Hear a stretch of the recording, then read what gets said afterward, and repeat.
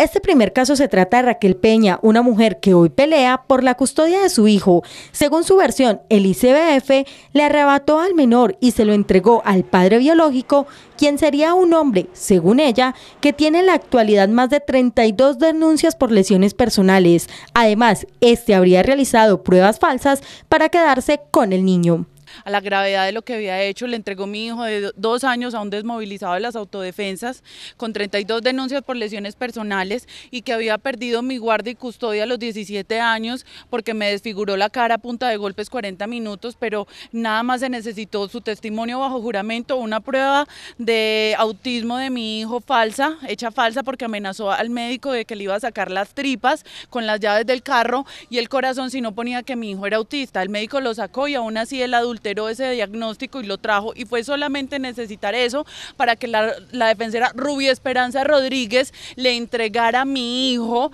en cuestión de tres días hábiles. Pero lo raro del tema es que no soy eh, apta para cuidar a mi hijo de dos años, pero sí soy apta para el de cinco años porque el de cinco años lo tengo en mi poder. Entonces ya no aguante más, son cuatro meses que estuve viniendo cada 15 días, eh, teniendo una visita de dos horas en una sala de espera, en las peores condiciones para poder ver a mi hijo de dos años. Y ahorita me vienen a decir que el proceso está tal cual, que no ha avanzado y que necesitan dos, ah, dos meses más de prórroga para poder definir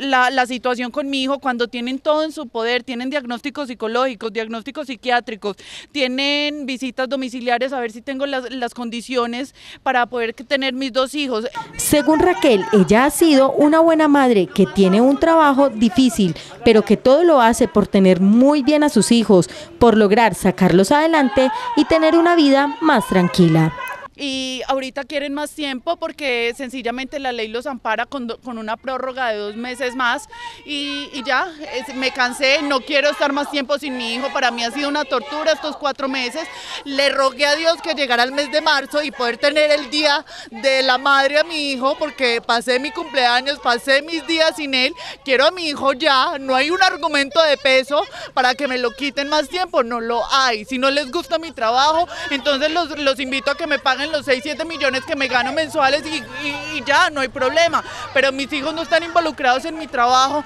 no ven absolutamente nada. Gracias a la familia del papá que está en Panamá y en Uruguay, se enteraron ahora el resto de Pereira. Gracias por sacarme a la luz pública, no me importa, que, que les quede muy claro, no me importa, por mis hijos hago lo que sea, no me importa, mientras en la casa no haga falta la comida, no me saquen de la casa por no pagar el arriendo y no se queden sin servicios, entonces no hay problema y el mundo no le tiene por qué importar eso. Mis hijos no son maltratados, mis hijos me aman y la prueba de eso es que Martín después de la valoración psicológica, la psicóloga dijo que teníamos un vínculo súper fuerte, que no se podía quitar ese niño de mi lado, entonces porque sí se puede quitar a Emiliano de dos años y si es autista o no es autista,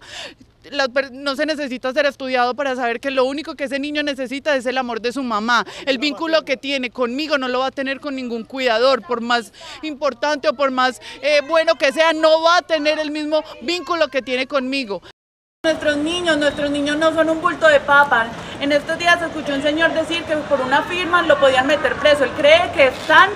eh, comercializando un bulto de papa. Nuestros niños son importantes. No se vulnera la vida de nuestros niños dándoselo a un violador, dándoselo a un desmovilizado de las autodefensas. No se puede seguir haciendo cifras con nuestros niños.